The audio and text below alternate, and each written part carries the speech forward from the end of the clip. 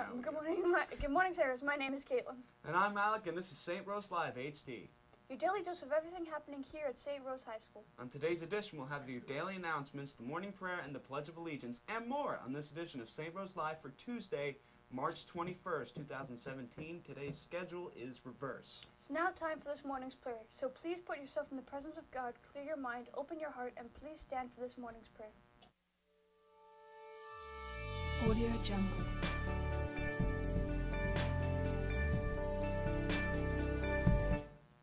A reflection by Catherine Flynn based on Psalm 89. In the name of the Father, and the Son, and the Holy Spirit, amen. God puts us on earth with a purpose. We are all meant to be here, whether it is to be with teach others about the Lord in religious life or to start and care for a family. We are all destined for greatness if we follow the path the Lord has created for us. David has professed his loyalty to the Lord, in which he responded, My mercy is established forever. My faithfulness will stand as long as the heavens. If we all put our trust and loyalty into the Lord, he will, he will reward us, but it may be hard. Hard to rely on the Lord for every aspect of our lives, but as we each personally grow in our faith, that beloved trust that beloved trust will come easier to us and our relationship with God will be frictionless. Frictionless. The Lord has a plan of greatness for each and every one of us, but we must take the leap of faith, knowing he will catch us. In the name of the Father, and the Son, and the Holy Spirit, amen. Please remain standing for the Pledge of Allegiance.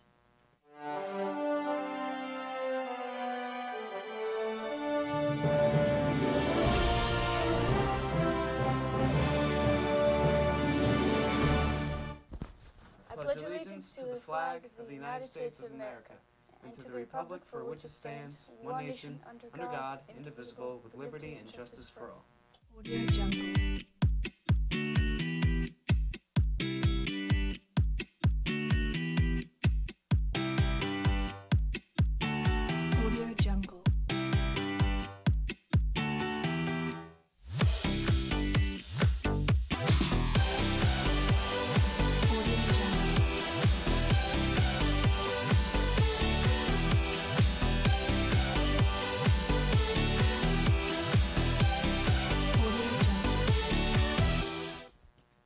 Good morning, St. Rose. Today's Tuesday, March 21st, 2017, and today's schedule is reverse. And the Art Student Department and students will be heading to the Teen Arts Festival in Brookdale. Oh, wait, that already happened. That's old. Okay, never mind that. Cut it.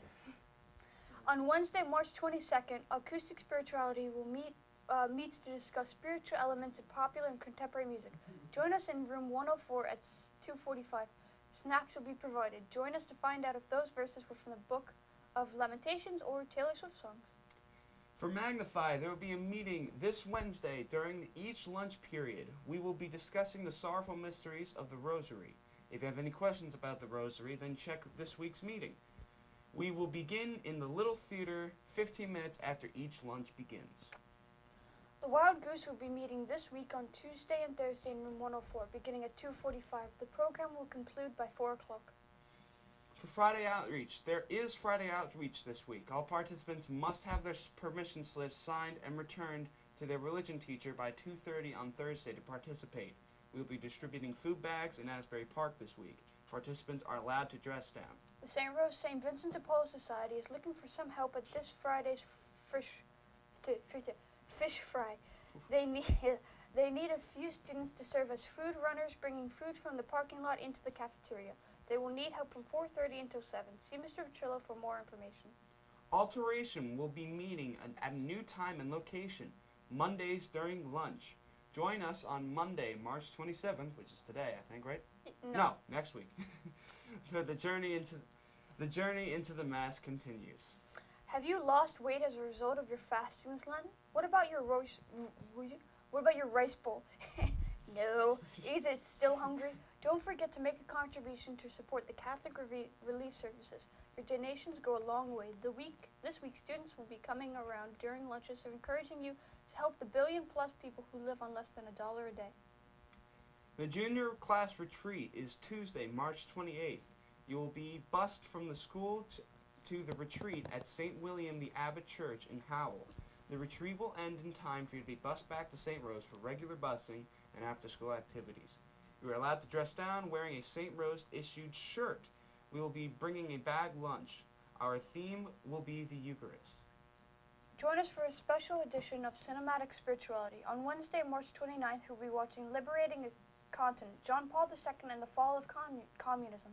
St. John Paul II has had a lasting impact on the Church's uh, teachings and on the face of the papacy.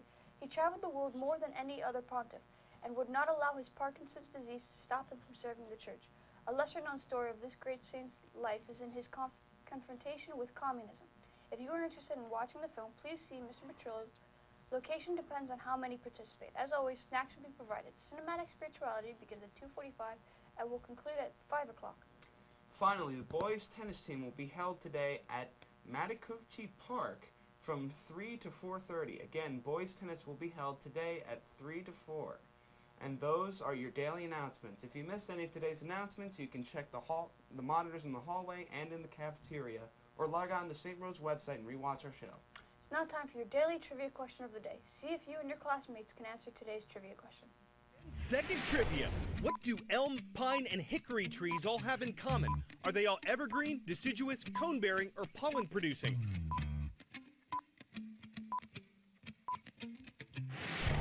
trees are all pollen producing, and springtime is their season.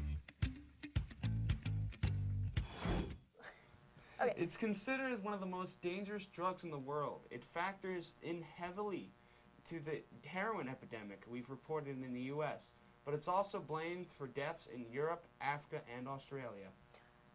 Fent- fentanyl, fent- Fentanyl. fentanyl is a man-made painkiller. The United Nations recently put restrictions on some of the chemicals used to make it. It says fentanyl is the strongest painkiller in existence for medical use. But then it's also highly addictive and especially dangerous when abused because it's so powerful. Many times stronger than even heroin itself. Fentanyl can be found only in pharmacies, now showing up in counterfeit pills. Much of what's being sold on the black market contains fentanyl.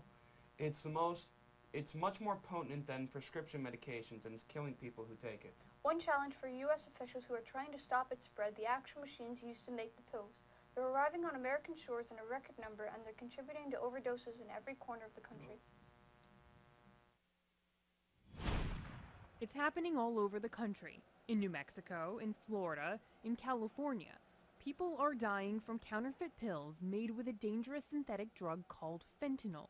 A drug that's 25 to 50 times stronger than heroin, up to 100 times more potent than morphine. People have died from ingesting what they think is a legitimate painkiller, and it's a counterfeit pill that contains fentanyl. The death of pop icon Prince could turn out to be the most famous case of counterfeit pills. Police reportedly found mislabeled pills laced with fentanyl in his home. The drug was found in his system. This is the tool drug dealers are using to make those pills, turning synthetic powder into something that looks just like prescription meds. If you have counterfeit pills, you can't make them without pill presses. As the DEA's John Martin shows CNN, pill presses are simply bought off the internet. Most come from China. Here's a, uh, a large industrial one uh, for almost $5,000. The machines make pills so deceivingly accurate, even veteran agents have trouble telling the difference. The machines themselves are not illegal, but buying them without proper registration is. The number of illegal imports has spiked 19 fold since 2011. So you just put the product in here and then you turn it and then it shoots out the. This was seized. This was seized, yes, and this machine came from China. Cheryl Davies leads the anti terrorism contraband team at America's largest seaport in Long Beach, California. Finding pill presses among millions of tons of goods is no small challenge. One container here is processed every 7.8 seconds. Customs and Border Protection opened up its secret warehouse for CNN, showing us the seized pill press machines with investigations underway to see whether they were legally imported. We see a variety of machines. They range from manual little machines that you can make one or two at a time, all the way up to machines that can generate 170,000 per minute. Huge industrial size machines. With all the overdoses that we're seeing, the increase in overdoses over the last couple years, I think these types of interceptions are extremely important and have a lot of impact on our communities. The ones they don't catch end up in places like this Lubbock, Texas. Police raid and find a tabletop pill press and nearly seven pounds of synthetic fentanyl. It's so dangerous, even to touch, that agents have to get into full hazmat gear.